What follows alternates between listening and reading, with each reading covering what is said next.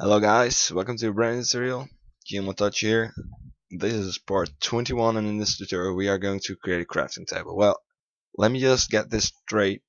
This is not hard. Okay? First thing you gotta do, add a crafting table, um,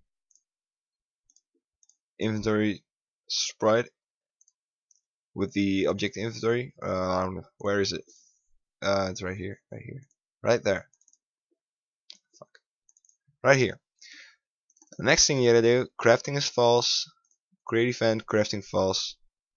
Um, step event, we are gonna put here or crafting is true. Gonna go to the draw event, paste this in. Make sure you got a 1 here. And for E, we're just gonna say this. If crafting is false, then inventory is not the same as it was before, and if it's true, then it's gonna be false. Easy like that go to the object beneath it and go go right here and say or object inventory dot crafting is true. We got some lines here saying if this one is false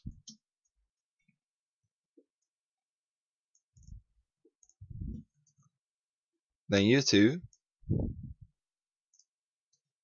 are going to be 0 delete it. Alright? Now go to the next object in line object in slot. Go to draw event and say or object inventory crafting is true. And right here we say and object inventory dot crafting is false Let's skip a bit and let's create some objects. Object crafting table control. Let's create 9 slots and an output slot. This is index 41. This is index 50. Let's go to CT control. Let's go to the left pressed and just copy the exact same thing we have probably here. Yeah, it's the same right pressed is also going to be the same.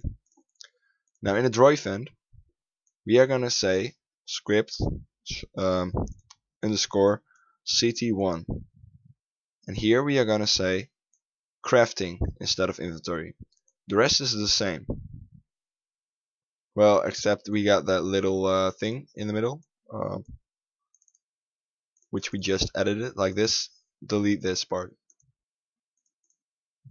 and also make sure you got the script crafting table between these brackets. Alright.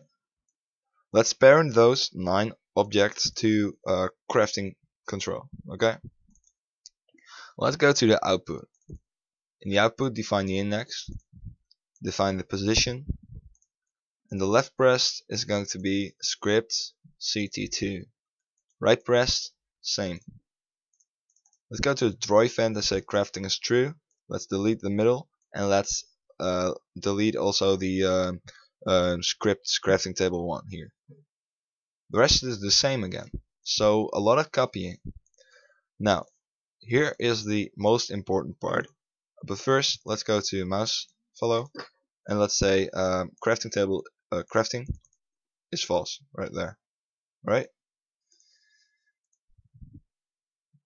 Also, don't forget to create the the the slot you just um, created uh, here. You gotta create all of them. All right. Good. Let's go to CT1.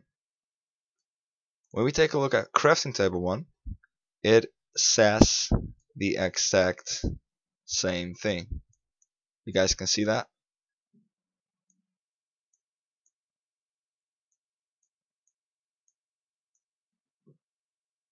Especially the um,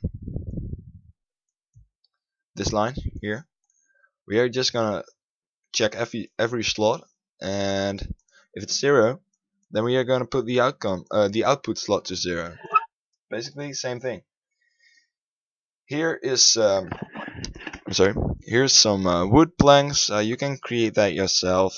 Just uh, good look with it. It's really easy. Same thing with sticks and all that. Um, the only thing that is interesting is the crafting table, which is actually also the same thing as uh, crafting table one, like the um, the for loop here. It's basically the same, but with more slots. That's basically it. Basically it. At the end we are going to put them to zero.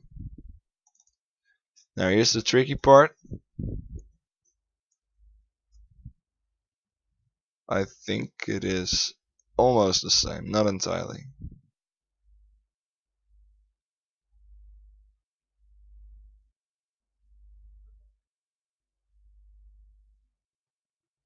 I don't know why this is different by the way. But anyway, we are just gonna yeah just copy this, paste it, whatever it works. Uh, this part is obviously not necessary.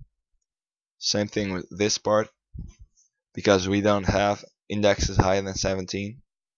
Same thing with this part. Well, this is necessary though. Uh, these sticks, wood, wood, and it's divided by 4. These are letters, and letters, when you create letters with 5 sticks, you get 3 letters. That's why it's divided by 3 here. And else, at the end, we are going to say else. Then it will do, do this right here. Just um, give the slot minus the number of items in the output, and that's basically it. And here, if the uh, slot is zero, then uh, the index is also going to be zero. And that is it. We are seven minutes precise now, and we got a crafting table. It's not that hard. I hope you will um, you will copyright because uh, it's it's just a basic bunch of copying and pasting and uh, it's not that hard. Just change the letter here change the letter there. Um, it's really really easy actually. Uh, next tutorial is going to be more exciting than this one. Uh, we are probably gonna create something like tools or uh, furnaces or chests. I don't know what um, I'll surprise you guys. Uh, peace out. I will see you next tutorial